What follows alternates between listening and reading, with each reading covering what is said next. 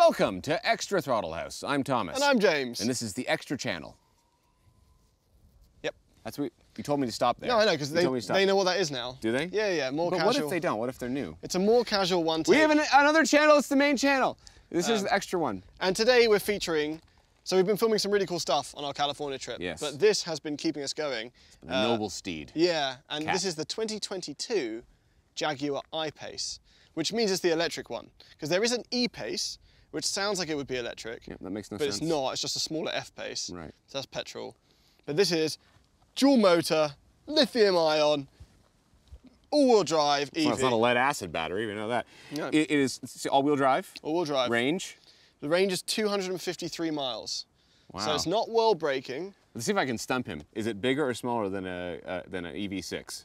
I don't know about the actual length, but the wheelbase is bigger and it's just underneath the uh, Ioniq 5. Because Okay. this photograph's big. It looks like a big thing. It's- yeah, when you see a picture of this, it looks bigger than the Ioniq 5 would be, but it's not. But the Ioniq 5 is bigger. it's actually kind of low too. It's this, nice. is, this has got some EV6 looking side yeah, profile. yeah, yeah, it does. Yeah. It looks like it is absolutely prioritized passenger space. Like this is a big old honking door. Look at the length of that. But the EV6 is bigger. It feels bigger, at least standing next to it.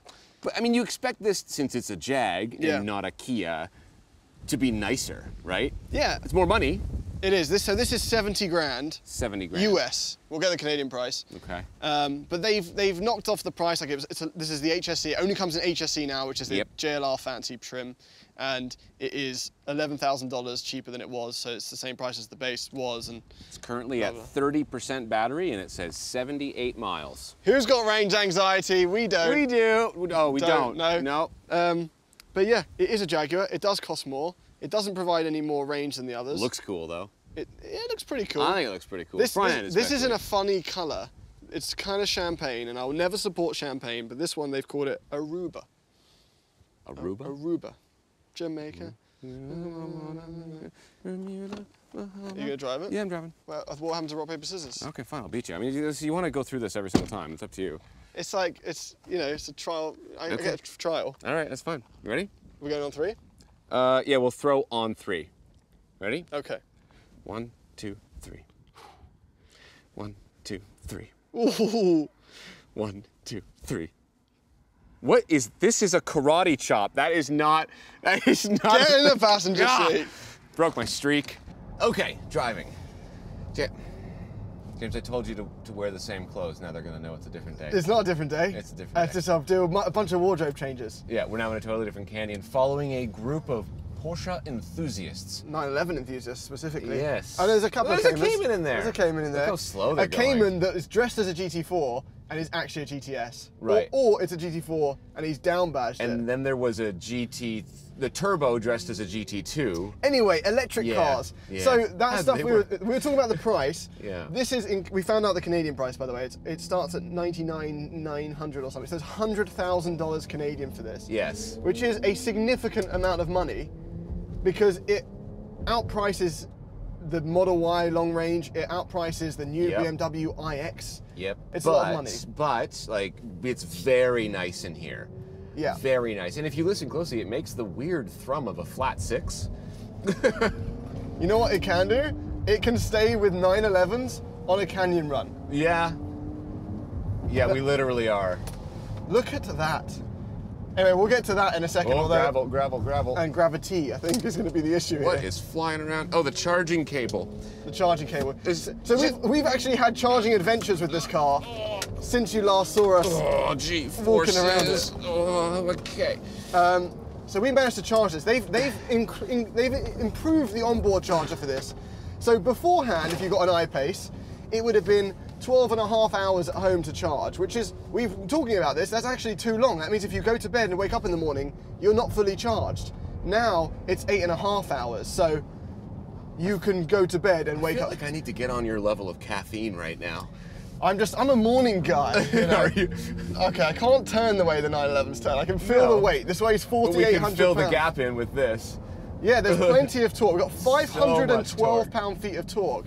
So this does four and a half seconds to 60. And I have hustled this thing around canyons, and honestly, it is severely impressive. Yeah. There's no feel to the steering whatsoever. No, there absolutely is, feel. It's no, there up. is not. Are you, have you- were you in the right mode? I was. I tried every mode. I tried all the modes, and there's. This it- is it's absolutely numb. waiting up in the corners. Okay, it's waiting up, but there's no feel to it. Okay, so it's like a Maserati MC20. Well, back up, back up, back up. Yeah. Okay.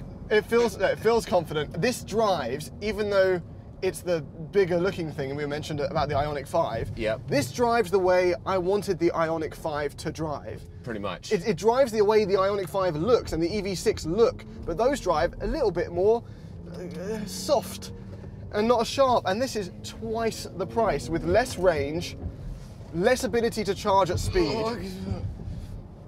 Because it, this thing Oh, hustles. here's the squeal from the tires. It's cyclist. We must have slowed down. But it's it's such an impressive car to drive. The drive I did not expect. I know it's a Jag, so I should have been a bit more like, you know, should have given it some credit. But Yeah, yeah. I mean, you look at it and you assume it's just going to be kind of another. Uh, those are your sunglasses. yeah, go. Um, um, I, you assume it's going to be just kind of another kind of crossover thing, right? But they, they did obviously spend some time tuning the damping. Can you switch me into a more aggressive driving mode? I think I'm doing this whole thing in eco right now. You are. Yeah. Uh, that's rain and ice Rain and and ice. Quickly get me out Oh, of that. no, I need to be in sport. Eco, comfort, dynamic. Oh yeah.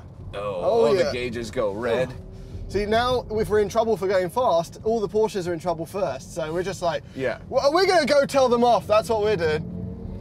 I love that I can just stamp on it here and just catch up. We'll just we'll just play. If we get pulled over, we'll just play the card of. I just thought this is we're just with traffic. I don't know. Yeah. we're Porscheing it right now. Oh my god, this this guy's having the worst canyon run because he's got to feel like he's like I'm just I'm I'm pushing it here, and this like SUV is keeping up behind me. This wasn't planned, by the way. No, we- we, we just are- turned on the canyon and we're like, screw it, we'll do it. yeah. So it doesn't charge as fast as some of the cheaper options. It doesn't have as much range, but the range is actually fine. The problem is I find is that it does. It's just very expensive now, and It's also not super consistent with how much range it tells you it has left. no, no. Right. But we had an okay charging experience. In fact, let's talk about that a minute because we don't talk about the charging experience. Now the You cav- had an okay charging experience. I, I mean, It was, it was okay. Yeah, you were just really tired. But Yeah, the, the caveat here is if you have an EV, you probably have a charger at home, which we don't have. So we have to face the extra logistics of not having that. And last night, we drove home from Willow Springs to LA, which is about a two hour drive. Yeah, And we we, didn't di- make it. we didn't have enough range to start with. So the car didn't let us down in terms of expectation, but it means we had to stop at an Electrify America charger Yes, which didn't work. The first one didn't work, and not only that, even Yeah. if you could justify the charge times to yourself, like this takes this said an hour and three minutes to full, To full, yeah. uh, and I think it's like 40 minutes to 80%. The thing that we didn't account for was a queue for the chargers, There's only three of them. and they were all being used. So Yeah. that's another extra block of time. So I can't believe how well this car drives, by the way. Yeah, I know. I can. I'm feeling it. Oh, These 911s got to feel terrible. They're like, I bought this for a reason. Yeah, trying-" I know. Oh, it hustles. Yeah, it really, really does. We Uh, were using this to, to chase down uh, Ferraris and Yeah. MC20s as a camera car in the canyons, and it did it no problem. I bet the Mustang Mach-E could probably do this just as well. the Mustang Mach-E could definitely Credit, credit to the Mach-E, it's got great driving dynamics. And it is also about half the price, a little bit more. So th- that's, I think that's the biggest issue here, is that this now, even if they've, even with the changes they've made, and they've upgraded this infotainment, you've gone with it, haven't you? Yeah, so this is, I don't think I've ever been in a JLR car where the infotainment has worked. No. except for this one. This is the first time this screen has not malfunctioned and it has been totally fine and usable and it's reasonably fast. And it's just the rest of it's more even more usable than than a Tesla whatever, right? Because we've got a lot of hard buttons for the stuff that matters, right? The climate control is a bit weird with these knobs and stuff, but I you know, I got used to it. I'm fine. And like I'm assuming these are like some sort of like vegan leather or something. I don't even know. I didn't look it up, but they're really the leather's really nice. Everything feels very, very comfortable, and the seats are great. Also, it's so quiet on the highway. Very quiet. So quiet, right? Not like a lack of engine noise, just the insulation from the road. Yeah, like and- on a that- concrete highway. That's where it will embarrass the Ioniq 5s and the EV6s. I think so, And I, I said to Thomas, I was like, you know, how much would you pay if everything else was the same as Ioniq 5?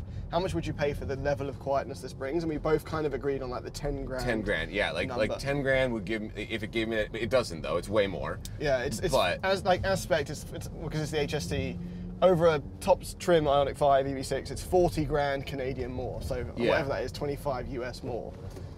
But it is a Jag and there is a badge associated with it and its driving dynamics wipe the floor with those cars and the range isn't far off so I totally get this. I think this car has been slept on and I'm part of the problem Yeah, it is. I've It always is. just been like oh it's the I-Pace that's one of those early EV ones Yeah, it's So- one of the early. It's exactly Yeah. what it is. It's an early. It's one of those early ones that they, they did it as like an experiment or to lower their their fleet average fuel economy or whatever it was, right? But this is now a good EV, no question. If you bought this and you spent more money over an Ioniq Five, I would go, good job, good work, Yeah. good choice. Like like 100. percent It's it's not it's not a question whether or not.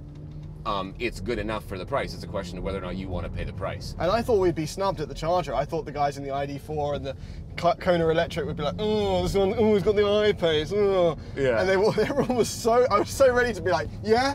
Yeah. Uh, and every, everyone was so nice. Yeah. And they were like, hey, I'm just going to be done in a minute. Yeah. Because we, we couldn't work out the etiquette. If someone's at 92%, And we and we, we're like waiting in queue. yeah, because you can see, you can see how much charge they've got. If someone's at 92% and we're sitting there like, "Ugh," like, are they expected to be like, you know what, that is enough for me right now?